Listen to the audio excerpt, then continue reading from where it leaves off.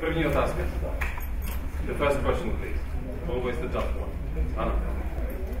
Do you know that you won uh, the award at other film in Trebon and did you get the award for this film? Where? In, in Trebon, in, in May, there's a festival of animation film. No, I'm not aware of it, no. So you won with Anomalisa. Oh, we did? I mean, they they may have sent it to Starburns, the company that produced it, but I, I didn't hear about it. But thank you. Eh, Otázka, víte, že jste vyhrál cenu na festivalu animovaného filmu Anifilm v Třeboni. Odpověď ne, nevěděl jsem to, ale možná to poslali produkční spole- společnosti Starburns. A děkuji. Nebojte se. It was a lovely, amazing movie, and I just wanted to ask you uh, about your writing process. Do you have to put yourself in some sort of special environment? Do you have any rituals, or do you just uh, make it up as you go? Um, did, so do you want to translate that? Or do you, I don't know how it works, do you want to? Eh, Děkuji za báječný, báječný film. Chtěl jsem se zeptat na proces eh, psaní, jestli musíte mít nějaké zvláštní prostředí, ve kterém, eh, ve kterém píšete, jestli máte nějaké rituály. Uh, no, I don't have any rituals. I mean, I um, I, I struggle a lot, um, and um, I walk a lot, and I sit a lot, and I look at the computer a lot. I look online a lot. I sit in a coffee shop a lot. Um, it never ends. I mean, I, I I can't write sometimes for long periods of time, but the sort of the stuff that's sort of churning um, sort of is always doing that. Much to my chagrin, it's not a good thing, but.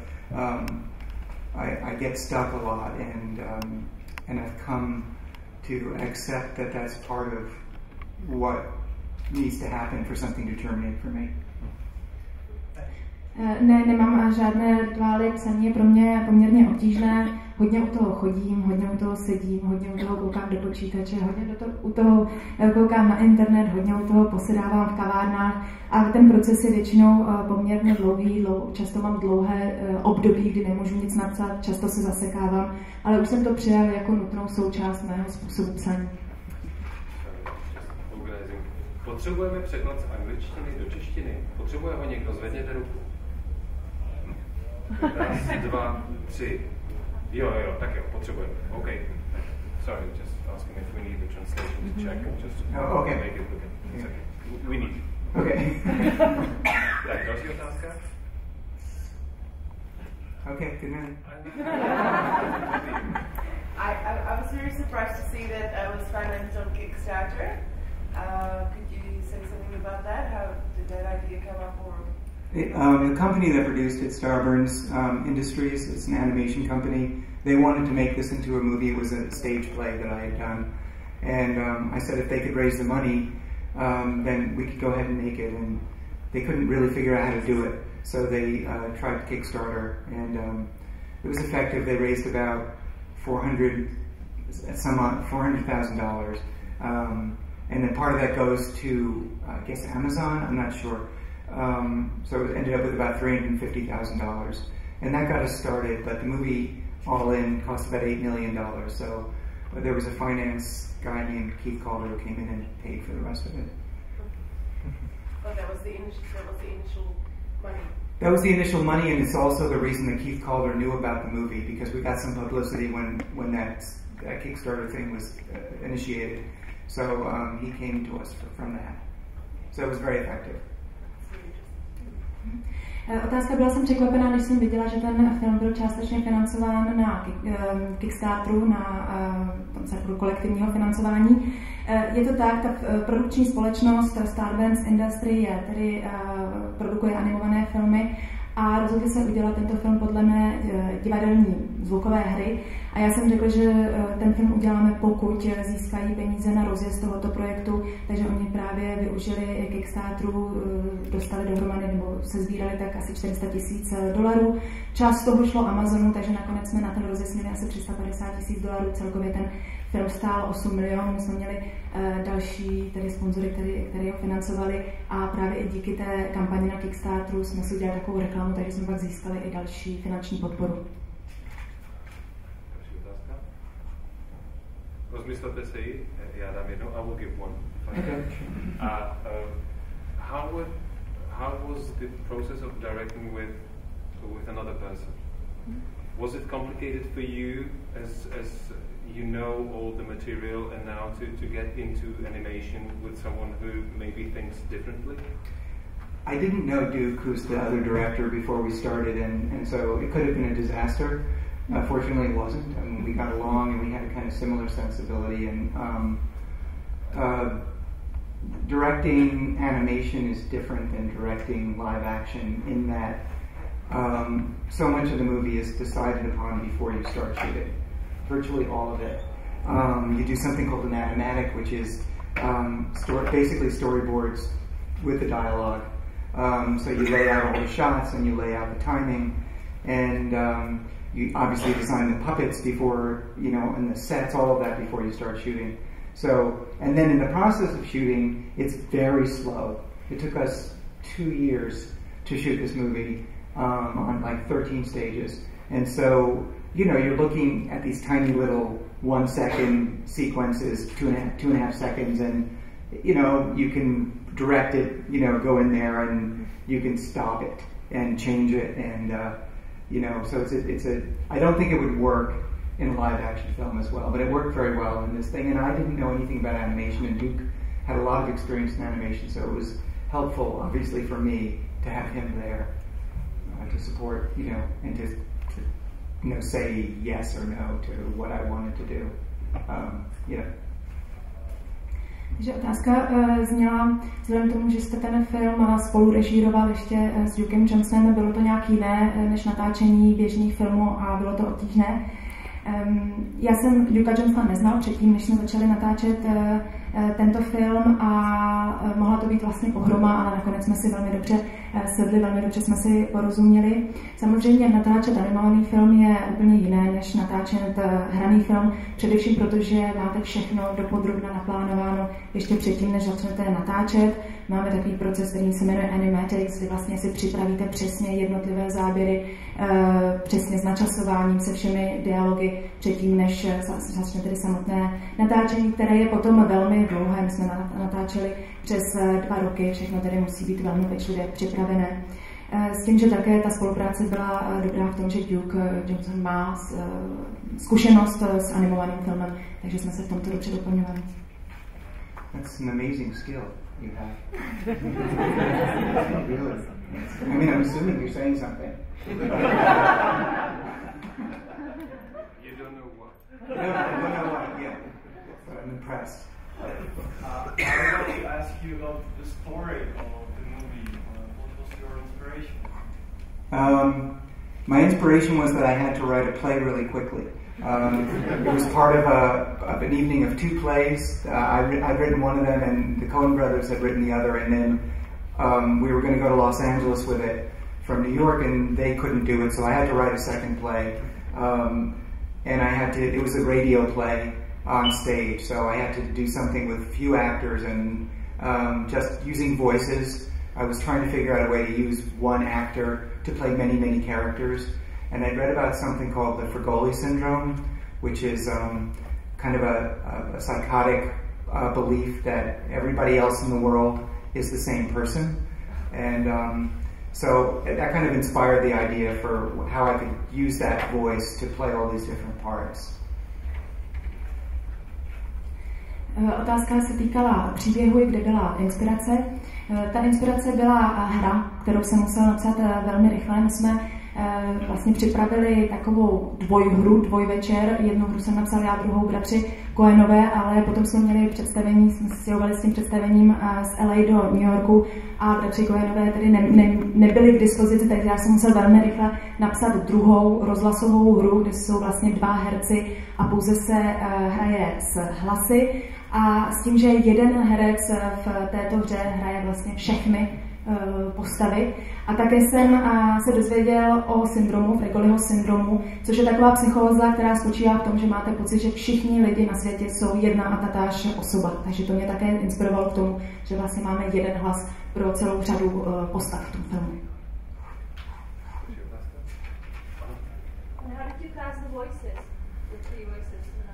Um, they're just actors that I wanted to work with. You know, I I, really, I didn't know any of them, and I, I liked them a lot, and um, you know, so I just called them and asked them if they would do it, and uh, they all said yes. And I, I, I mean, Tom Tom Noonan, who plays the voice of everybody, I think uh, I specifically like the fact that his voice is so uh, unique, uh, so specific, and I wanted a voice that would be recognizable from character to character as, a, as the same voice. And I gave him the direction when we were doing the play that he shouldn't try to do different voices, you know, just be yourself. I mean, inflections can change depending on the character, but don't do, you know, falsettos or anything like that.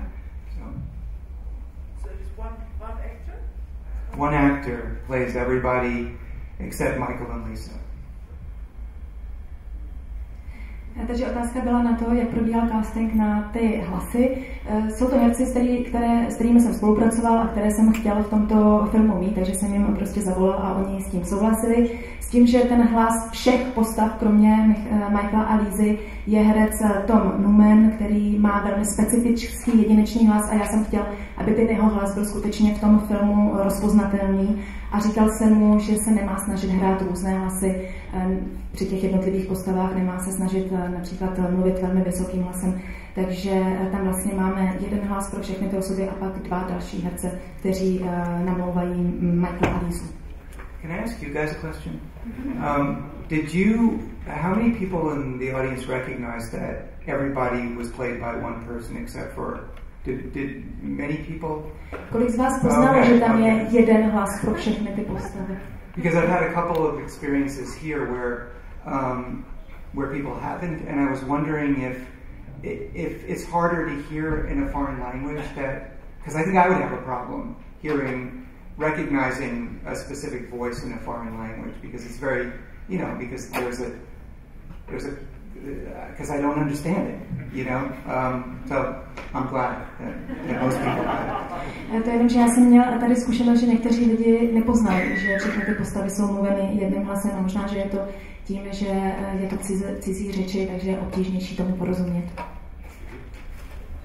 And, and was that a stylistic choice that you had the uh, male actor do all the females as well?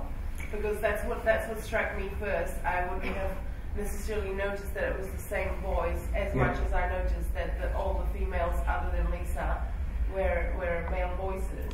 It could have been a male or a female. Um, I think the value um, of having it be a male is that it helps distinguish uh, Lisa's voice as, as the sole female voice. But it, it, you know, um, um, it, in theory, it could have been a female voice. It was. It wasn't. It wasn't like it had to be a male because I was saying something about males or females. It's just um, in terms of recognition. I think it was helpful.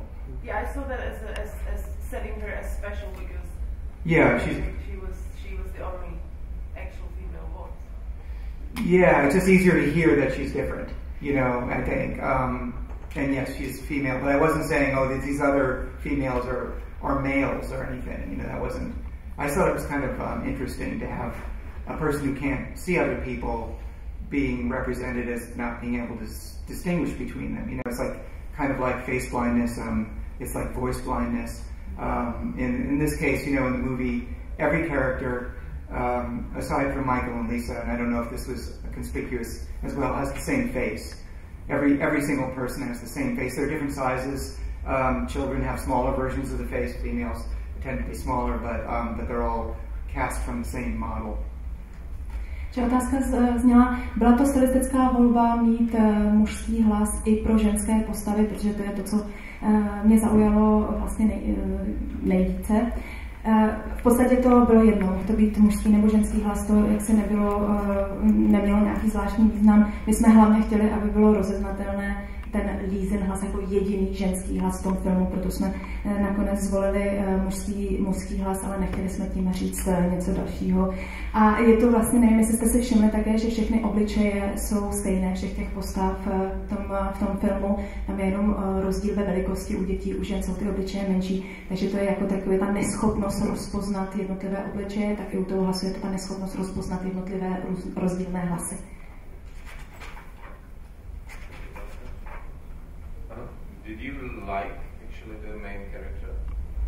Do I like him? Yeah. Um, I don't think about things like that. I honestly don't think about things like that. I, I'm trying to represent somebody, and I'm trying to represent uh, um, emotion um, and an experience, and I try to write every character I write. I try to write uh, from inside the character. So, I mean, when I'm writing Michael, I feel about Michael as Michael feels about Michael. Um, but it doesn't interest me one way or the other if, someone, if a character is likable. Uh, otázka zněla, uh, zda máte rád tu hlavní postavu. Uh, takhle o tom vůbec nepřemýšlím. Když někoho chci stvárnit, tak ho prostě stvárním, chci stvárnit nějaké emoce, zážitky, snažím se tu postavu stvárnit zevnitř, takže já přemýšlím o Michaelovi tak, jak Michael přemýšlel sám o sobě.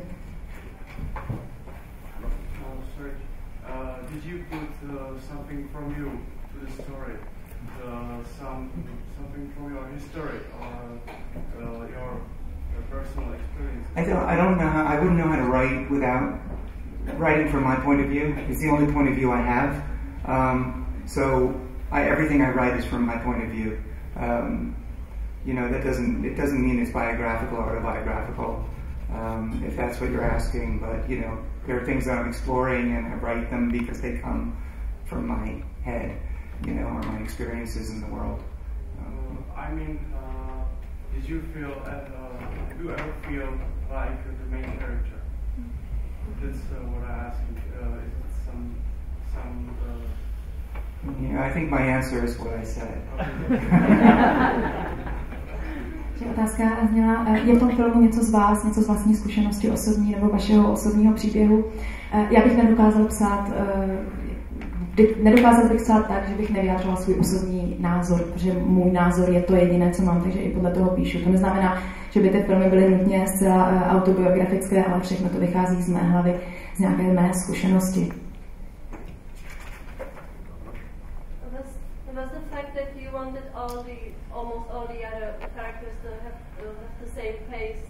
main reason why you wanted to do it as an animation? No, I didn't want to do it as an animation at all. I, I, I was approached to do it as, as an animation. I was I had written it to be the staged radio play, and that was what it was designed to be. And I was concerned about making it into a visual form. So, um, but they came to me, and this, and I, I've been trying to get movies made, and this just happened to be another possible opportunity. So I said, sure, you know, let's try to do it. And it ended up being, and I wasn't really expecting it to happen. Um, uh, it just ended up being the thing that happened. Um, that of, of, the many things I've been trying to get off the ground, this is the one that came to fruition. Otázka zněla, um, skutečnost, že všechny ty postavy mají stejný obličej, vás vedle k tomu, že jste uh, zvolil formu animace. Uh, ne, já jsem vlastně vůbec nechtěl původně dělat animovaný film, ale byl jsem já sám osloven, já jsem to chtěl mít jako tu rozhlasovou, uh, rozhlasovou hru. Takže potom vlastně to byla jedna z mnoha příležitostí, která eh, nakonec dopadla, protože jsem měla rozpracováno více, více různých věcí. Tak to tam češtině, protože to bude trošku komplikovanější pro mě. Uh, všiml jsem si, že ty animované obličeje byly podél očí říznutý a celý ty vlastně obličeje byly pohyblivý. To mě zajímalo, proč to tak bylo, protože jsem čekal nějakou interakci s tím. A pak mě zaujalo, jak si v tom svém snu urazil spodní část obličeje. Taky úplně nevím, co mělo. So, um, yeah, exactly. Why the faces are cut at the level of the eyes. Uh, that's the first question. And the second question is also there's this interesting part when the uh, lower part of the face falls uh, down uh, in his dream. So what's behind that? Um, that's how the that's how the expressions on the faces are created. They're, um, so it's a functional thing. Um, they're 3D printed these faces, and there are many many forehead pieces, like uh, over I think 150 different brow pieces, and then uh, the same amount at the lower face. And so uh, they're hard, and so as you're animating, these things are being replaced, and you're creating the mouth movements, and you're creating all of the facial expressions. Uh, um, it's called replacement animation, and um, we're not the only people to do it. Uh, but when it's done by other productions, in post production, they'll paint out the seams, uh, so you can't tell.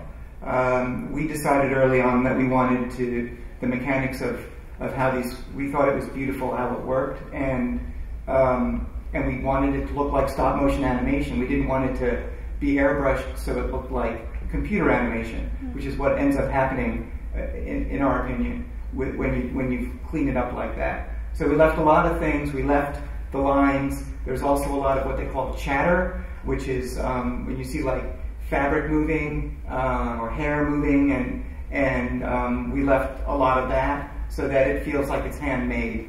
Um, thematically, we felt like it was um, consistent with what we were trying to do with the characters, and of course, once we once we left the seams in, uh, we started thinking story-wise how, how to incorporate that, and that's when the idea of the face coming off uh, was introduced uh, when we were, you know, storyboarding it. And um, as to what it signifies, I feel like again, it's something I I don't like to say what anything signifies in in in a movie uh, that I've written or directed because I feel like it's an opportunity for people to have different experiences with it, and I, I'd rather not dictate what those experiences are. Sorry, that was a long one. Vlastně to rozříznutí toho obličeje je naprosto funkční záležitost, která nám umožňuje vytvářet různé uh, obličejové výrazy. Ty, uh, mas, ty loutky byly uh, udělané, vytištěné na 3D tiskárnách a měli jsme asi 150 vlastně těch vrchních částí obličeje, stejné, stejný počet těch dolních částí a postupné Eh, nahrazování a kombinování jednotlivých těch výrazů nám pak umožňovalo například i pohyb úst vyjádřit a, a podobně, tomu se říká replacement animation. Používají to i jiní eh, tvůrci, ale ti většinou potom vymažou ty švy, které nejsou vidět. My jsme se rozhodli, že tam ty eh, švy na schvál necháme a vlastně i v tom příběhu jsme pracovali právě s tímto prvkem a protože jsme chtěli, aby bylo jasné a aby bylo viditelné, že je to stop motion animace, že to tedy není uh, počítačová animace, a vlastně je to tam vidět i, že se uh, na těch, na těch obličejích vidíte přesně tu texturu, vidíte, jak se hýbou vlasy, takže to všechno jsme tam nechali na schvál. A z toho vlastně vznikla i ta část, eh, kdy spadne ten kus obličeje, protože jsme tam tedy nechali ty jednotlivé kusy. A e, pokud jde o nějaký výklad, tak e, já nechci vysvětlovat nebo někomu nucovat, co to znamená, protože si myslím, že je to příležitost, aby si to každý interpretoval po svém.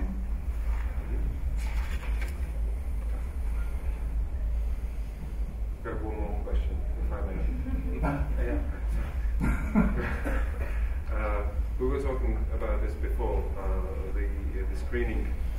Uh, you don't seem like a obvious director as we as we know how they look. So how do you, how do you like the uh, process of uh, direction, and I, what is it? Was it different from you from from the experience of being a, just writing a script? It was very different. It's it's it's like converse of writing a script. I mean, it's very social and it's very structured and you always know what you need to do next, and there's always someone to tell you what you need to do next, and you have a scene to shoot, and you're at a location, and you either get it or you don't get it, and you move on because you can't stay there anymore, and so um, it's, it's, it's, it's frenetic and and it's and it's contained. Um, I have been making movies um, since I was a kid. You know, Super 8 movies. I went to film school. I wanted to be a director. It wasn't like I suddenly decided, you know, it just, I, I started writing because I figured that it was a way in to directing because I'd heard that. And I had a classmate um, at film school who got a very sort of big, illustrious career, starting as a screenwriter, ended up as a director and producer. And so, um, I, I, you know, I got to a point finally where I could, someone would allow me to direct a movie. And then I took the opportunity to do that. And um, it, I like doing it. I, I, I, like it, and it's a, it is an antidote to, to writing, which is which is endless and lonely. Že otázka zněla, a vy nejste takový typický režisér, je proces, jaký je ten proces režírování a je to jiné než psát scénář. Je to uh, úplný opak, protože režírování je společenská věc, je to strukturovaná věc, vy musíte něco natočit, uh, máte tam jasně dané, co musíte udělat, nebo vám někdo řekne, co musíte udělat, co je další fáze. Um, To znamená, že uh, vlastně já jsem chtěl režírovat uh, od malička, vystudoval jsem filmovou školu, vždycky jsem chtěl být režisér a začal jsem psát scénáře, protože jsem si myslel, že je to cesta potom k režisérské kariéře. I mi to říkali, mám jednoho velmi slavného spolužáka, který právě začal jako scénárista, uh, potom přes režisérství se dostal i k produkci. Eh, a já jsem v jednom okamžiku měl možnost eh, být režisérem, režírovat film, takže jsem se jí eh, chopil.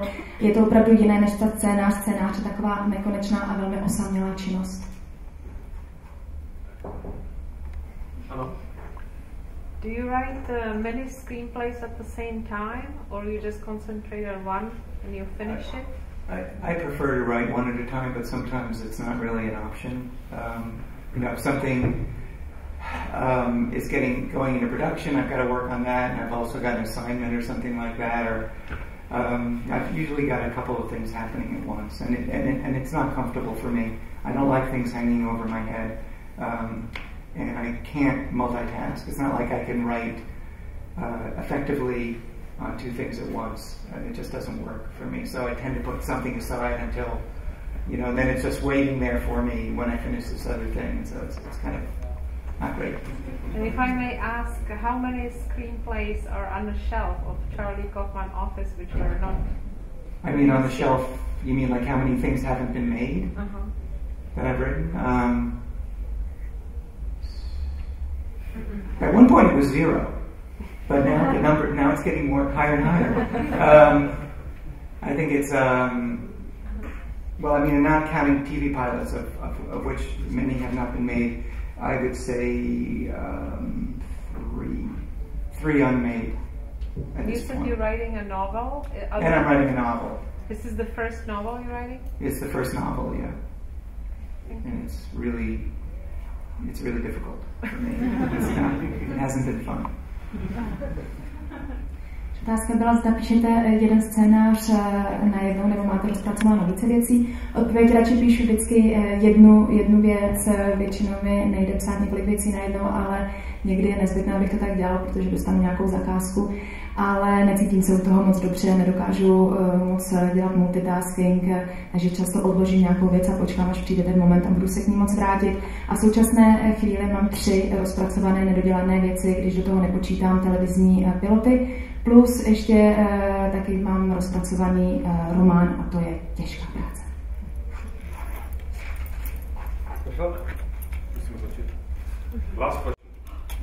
Yes.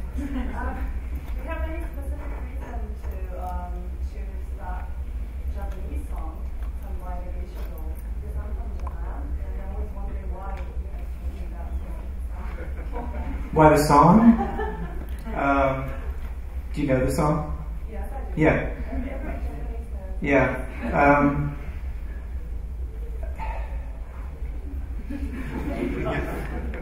you know, I wrote this thing in 2005, and I'm not really sure why I, I chose that to be to, for the for the um, for the an, for this animated doll to be uh, Japanese um, anymore, but. Um, but I like that it's Japanese, and um, I, but I don't I don't have a concrete answer for you. And I chose the song because it was the song I was looking for a, a kind of a children's song that was um, sort of innocent sounding.